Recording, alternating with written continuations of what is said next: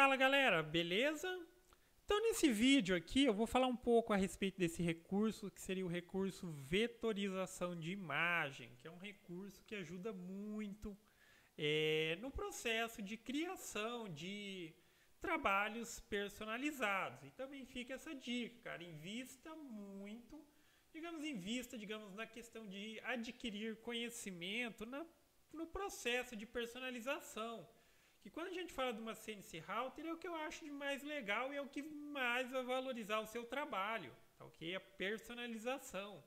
Essa possibilidade que a CNC Router nos dá de personalizar as peças, tá ok? Você vai fazer uma tábua de churrasco, uma tábua de churrasco simples, tem um valor. Se a gente faz uma tábua de churrasco personalizada, tem outro valor, ok? É, e esse processo que eu vou falar agora aqui, ele ajuda bastante nesse aspecto. É, a princípio também fica o convite para quem quiser participar do grupo que eu criei no Facebook, é o grupo CNC em Ação, ok? Lá é voltado especificamente para assuntos relacionados a CNC Router de uma maneira geral, tá? Programa, programação, montagem de máquina e tal. Quem quiser participar, compartilhar dica, fica aí o convite. Lembrando que isso não é permitido vender, tá ok? É, então vamos ver na prática como que funciona isso daqui. Eu vou dar algumas ideias de exemplo aqui para a gente é, utilizar esse recurso e também aí fica como dica de criação de peça e tal. Vamos lá, tá? O processo de vetorização nada mais é do que você pegar uma imagem que, sim, pode ser uma foto. Uma foto não deixa de ser uma imagem, mas uma imagem no processo de vetorização, ela vai dar muito mais trabalho depois ali nos retoques, no acabamento que você precisa fazer. Ah, mas esse é o caso. Alguém me deu uma foto e quer que eu faça algo em cima disso daqui. Beleza, sim, é possível, mas enfim, vamos fazer o mais simples nesse vídeo, processo de vetorização simples, é, de maneira que a gente consiga já no processo de vetorização um resultado que possa ser considerado ali bem próximo já do final para a gente criar o percurso de corte. Então a gente vai trabalhar com a vetorização simples. É o mesmo processo, só que, como eu disse, depois que a gente realiza o processo, a gente precisa dar pequenos retoques se for o caso. Em algumas situações, dependendo da escolha das fotos e tal, praticamente você não precisa fazer nada, só gerar depois o percurso de corte. Mas vamos ver na prática como isso daqui funciona. Então, primeiro passo, conseguir uma foto. Aonde eu consigo uma foto, uma imagem? Você pode buscar, por exemplo, em site como o Google ou também no Pinterest, que é um site que eu também utilizo bastante aqui. É, eu tenho até um perfil lá, tá? Se buscar por feito de madeira, vai aparecer também. Tem um perfil lá, que é um site, digamos assim, especificamente voltado para fotos. Só que o Google também ele tem uma variedade enorme de, de, de fotos aqui. E outra coisa, é, quando é só a temática, então vamos descartar aquela possibilidade de ser uma foto, a gente precisa de uma imagem. Ah, um, eu tenho um amigo ele gosta de Fusca, eu queria fazer alguma coisa para presentear ele. Então, como que seria a melhor opção? Você buscar por imagens eh, relacionadas ao tema, só que você coloca, por exemplo, silhueta, ou seja, já vai aparecer o contorno, como se fosse contorno a maioria dos resultados já vai ser tipo foto preto e branco, que facilita o processo de vetorização, tá ok? É, lembrando sempre também outra dica, é, às vezes quando você estiver buscando uma outra temática e tal, busque no termo em inglês também, que vão aparecer outras opções, tá ok? Escolheu a sua imagem, você clica em salvar imagem como, salva aí numa pasta, é, volta no programa, e no programa você vai selecionar essa opção aqui, ó, importar imagem para vetorizar. Aí você seleciona a imagem, ele vai trazer aqui para dentro do programa. Vamos apagar isso daqui. E vamos... É, deixa eu ver a simulação aqui. Deixa eu já reiniciar a simulação também. E vamos lá. Então, colocou a imagem aqui no programa, você vai utilizar este recurso aqui, ó vetorizar imagem. Tá ok? O que, que ele faz? aqui a lupinha, essa lupinha, ela dá um zoom no vetor, tá? Seleciona ali o vetor, a imagem, ele dá um zoom aqui, deixa grandão. É, abriu esse recurso de vetorizar imagem, aqui tem essa barrinha que você aumenta ou diminui e tal aqui, para ver se melhora ou se piora o resultado da vetorização. Por exemplo, ah, tá 50 aqui, ó. Aí eu venho aqui, vamos dizer meia meia aqui, bem no meio. E clico em prever, ele gerou algumas linhas.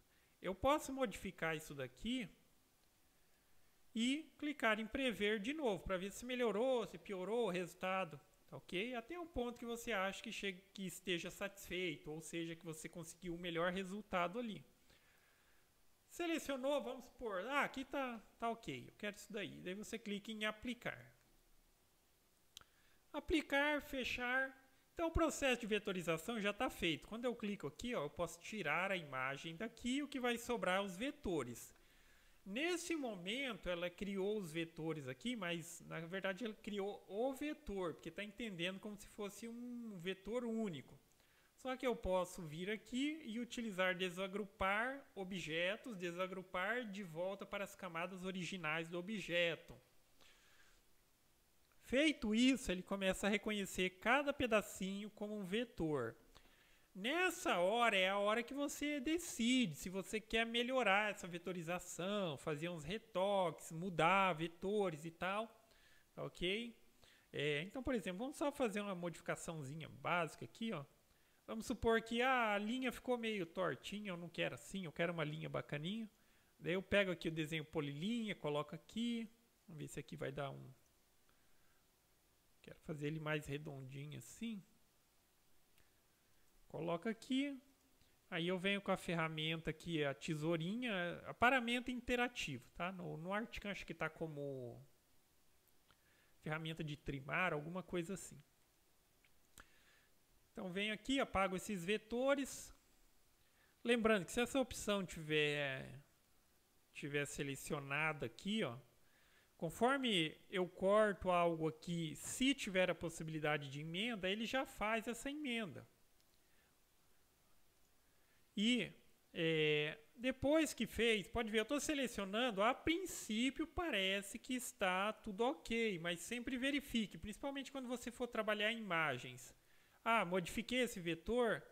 Verifica, tá vendo essa opção aqui, ó, Join Close Vectors? Ela tá apagadinha assim porque tá ok, tá? Esse vetor ele não tá aberto. Se tivesse a opção assinalada pretinha, como tá essa daqui, ó, é porque eu modifiquei o vetor, mas ele não conseguiu fechar ele. Aí vai aparecer outras opções aqui. Eu posso fechar com uma reta, com uma curva e tal. Tá? Sempre vai verificando. Vamos mudar mais essa de baixo aqui, deixar ela redondinha também.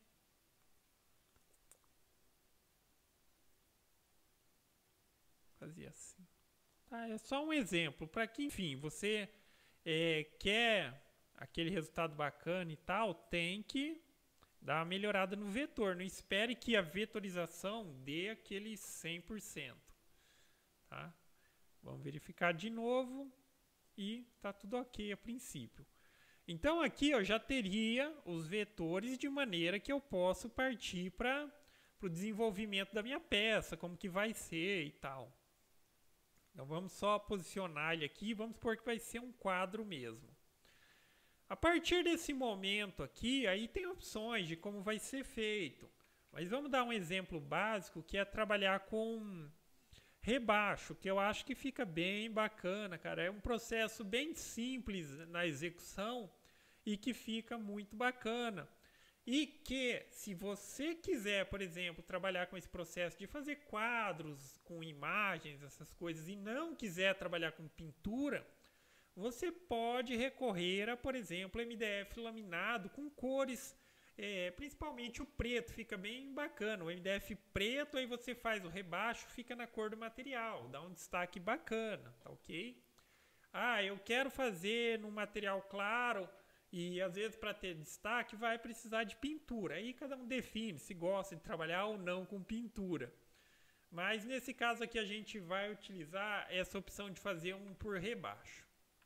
Deixa eu só apagar esses daqui.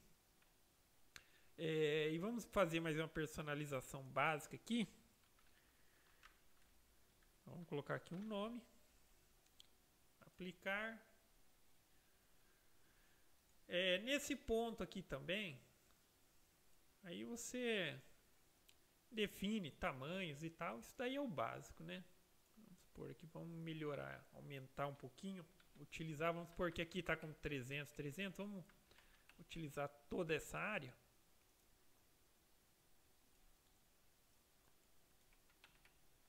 E vamos colocar dentro da área de trabalho aqui. Diminuir um pouquinho esse nome, porque está bem no limite.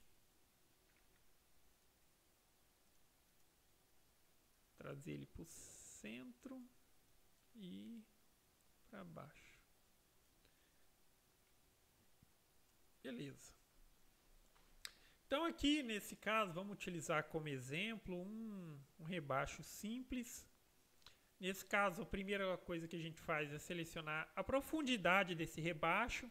Se é só para dar o destaque, você está trabalhando com laminado e tal, um milímetro, se a sua máquina estiver bem niveladinha ali, já é mais que suficiente para esse processo.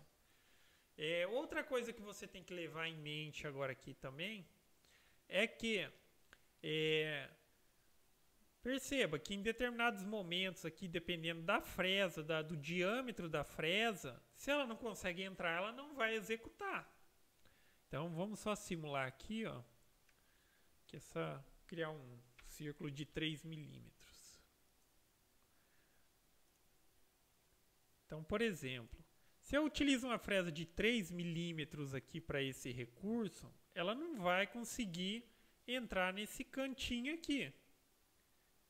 Tá? Até porque, enfim, não é um vetor otimizado e tal. Se você quiser é, fazer uma bela de uma otimização do vetor para que a fresa consiga aquele resultado, você pode. Tá? E essa é uma das maneiras. Você pegar e utilizar a ferramenta é, que você vai trabalhar nesse material para, digamos, fazer modificações no vetor. Se eu fosse utilizar a ferramenta de 3 milímetros, o que, que eu poderia fazer?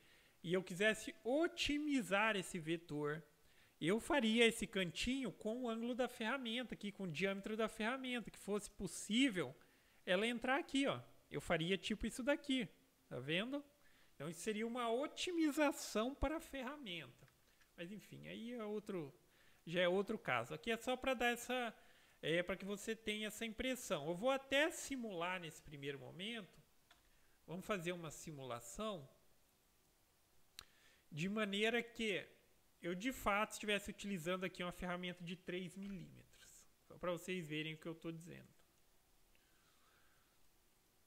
Então eu utilizei essa ferramenta de 3 milímetros, vou calcular aqui para fazer um desbaste ou um rebaixo de 1 milímetro. Vamos calcular e vamos dar um play. Tá vendo? É, vamos supor que a superfície do MDF fosse preta e teria esse resultado. Por quê? É, aonde a ferramenta não cabe, ele não vai gerar um percurso para passar ali, tá? Senão está danificando sobre os vetores. Então você precisa de uma ferramenta mais fina. Agora, por exemplo, se eu utilizo uma ferramenta mesmo que de topo reto, de, vamos colocar agora, por exemplo, uma bem comum de se ter e fácil de encontrar, uma de 2 milímetros, que já vai entrar em bastante cantinho ali, que com certeza de 3 não entraria. Calcular e vamos dar o play. Vamos ver se já melhora. Tá vendo? Mas, com base no desenho que eu tenho, por exemplo, essa letra aqui ainda não passou aqui. Eu precisaria de uma ferramenta mais fina. Se eu utilizasse aqui uma de 1 um milímetro. Vamos dar um OK e calcular. E dar um play e aí entraria em bastante cantinho. Dá para melhorar ainda? Dá. Utilizando uma ferramenta do tipo é, VBIT tá ok? Que tem aquela pontinha fininha e tal. Só que na, na, na questão de utilizar de VBIT, cara, fica aquela dica que eu dei até em outro vídeo. É, você utiliza o processo de VCarve, vai funcionar a mesma coisa que o desbaste. Tá? Vou até mostrar aqui, ó. Esse processo, criar percurso VCarve. Deixa eu primeiro apagar essa simulação e daí a gente já faz essa outra simulação aqui para vocês verem aí já é um resultado que vai beirar ali a perfeição. Você viria aqui ó, no criar percurso vcarve. Mesma coisa, ele vai funcionar exatamente como o outro lá. Só que aqui nesse processo, a gente vai fazer esse rebaixo, a gente vai utilizar duas ferramentas. Uma só para entrar nos locais que a outra não cabe. Entenderam? Então, por exemplo, se eu seleciono aqui uma VBIT, aí pode ser qualquer uma. Eu estou selecionando aqui essa de 16, mas ela vai fazer a combinação de duas ferramentas. E nesse caso, para fazer por esse processo, a gente tem que assinalar profundidade plana. A gente vai deixar aquele mesmo 1 milímetro. A ferramenta pode ser qualquer uma do tipo VBIT. Tá ok? Vamos colocar aqui uma mais fina, só para exemplo. Mas vamos pôr aqui a de VBIT 6010. E você vai assinalar essa segunda caixa, utilizar ferramenta de desbaste. Aí você utiliza uma outra ferramenta qualquer Aí poderia ser, por exemplo, até mesmo a de 3 milímetros, uma de 4, uma de 5, uma de 6, tá? Só que daí a, o conceito é esse. Eu vou trabalhar com duas ferramentas. Essa VBIT, ela vai entrar ou ela vai fazer o processo aonde essa de desbaste não cabe. Tá ok? Então, se eu utilizo uma ferramenta muito grossa aqui, vai sobrar muito trabalho para essa ferramenta com a ponta fininha. Ela vai trabalhar só com a pontinha ali, fazendo desbaste. Entenderam? Então, por isso, em muitas situações, não é interessante utilizar uma ferramenta muito mais grossa aqui. Então, eu deixei essa ferramenta e vamos calcular e vamos ver o resultado na prática. Então, eu vou simular uma de cada vez. Ó. A ferramenta de entalhe, ela vai fazer simplesmente isso.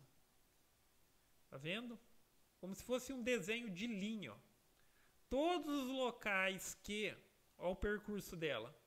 Tá vendo? Todos os percursos, todos os locais onde que a ferramenta de 3, que a gente vai remover o excesso, o que está sobrando, ela não caberia, essa de 3, ela foi feito com essa que é feito só com a pontinha da ferramenta. Pode ver que em determinados locais ela passa só cobrindo uma linha aqui. E agora, por fim, ó, a de preenchimento vem e remove o restante. E aqui ainda está com um passezinho bem reduzido. Deixa eu ver como que está aqui o, o passe. Tá, aqui está com um passe lateral de 1 milímetro. Só que nessa situação é óbvio que... É, eu utilizei a de 1 milímetro, mas ela estava especificada aqui como 3. Vamos calcular de novo. Agora vai. Por isso que estava muita linha ali, tá vendo? Então, esse vai ser o processo que vai ser feito com a ferramenta de 3 milímetros. Ela vai remover o excesso. E esse aqui é o que faz o detalhamento da peça. E a combinação dos dois, vamos simular aqui. E esse daqui. Tá vendo? Aí você teria aquele acabamento perfeito. Tá ok? Ela vai entrar em todos os cantinhos com a ferramenta de ponta aqui. E lembrando assim, é, eu tô dizendo isso porque eu já vi gente fazendo com o processo utilizando só a VBIT, cara. Olha a combinação dos dois processos. Calma aí, deixa eu... eu simulei até o errado. Vai melhorar um pouquinho ainda mais o resultado aqui. Pouquinha coisa só. É, eu já vi gente fazendo processo tipo esse utilizando simplesmente a ferramenta VBIT. Vamos dar uma olhada aqui, ó. Só na estimativa de tempo que está dando, eu vou simular de novo só para vocês verem a diferença. Mas olha aqui, é, a ferramenta de desbaste está dando um tempo aproximado aqui, ó. Tá vendo aqui embaixo? 8 minutos. E essa daqui 13 minutos, tá ok? É... Olha se eu fosse fazer isso só com a VBIT. Agora vamos voltar aqui para o programa. Está selecionado. Eu vou calcular um novo percurso de do tipo VBIT, profundidade plana, só que eu não vou utilizar a ferramenta de desbaste. Vai ser feito só com a ferramenta VBIT. E vou calcular.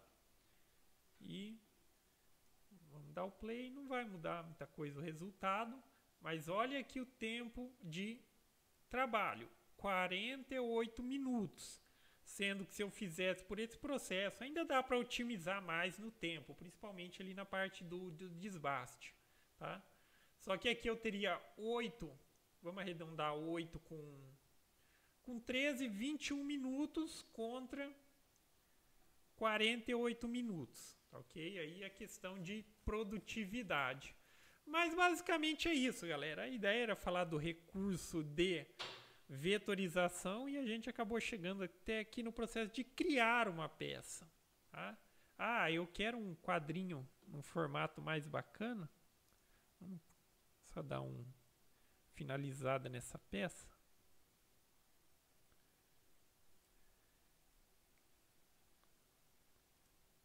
Eu posso criar esse, crio um quadradinho aqui. E vamos colocar ele com redondo interno, assim que fica legal. 5, vamos colocar 20. Aplicar, fechar e vamos só remover isso daqui. Aqui define a profundidade total do material.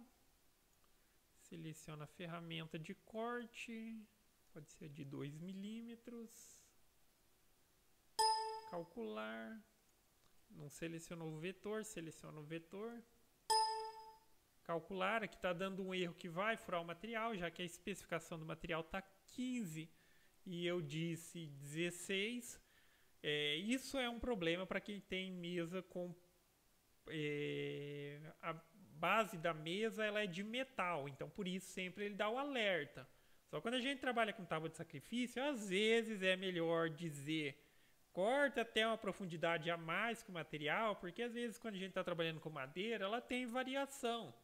Então, se a gente trabalha pelo exato, achando que está exato, aí a peça acaba ficando presa ainda por uma grande quantidade de material e exigindo que é, se tem ali muito trabalho com acabamento. Então, às vezes, é melhor mandá-la passar um pouquinho mais e riscar a tábua de sacrifício ali, ok? E vamos dar um play. E aqui já teria um resultado mais bacaninho. Tá? Então, basicamente é isso, galera. Tá ok? Então, o recurso de vetorização, ele basicamente transforma uma imagem em vetores que a gente já consegue trabalhar aqui no programa, tá ok? Então é isso aí, galera. Gostou do vídeo? Dá um joinha, inscreve no canal que em breve estarei postando mais vídeos. Falou?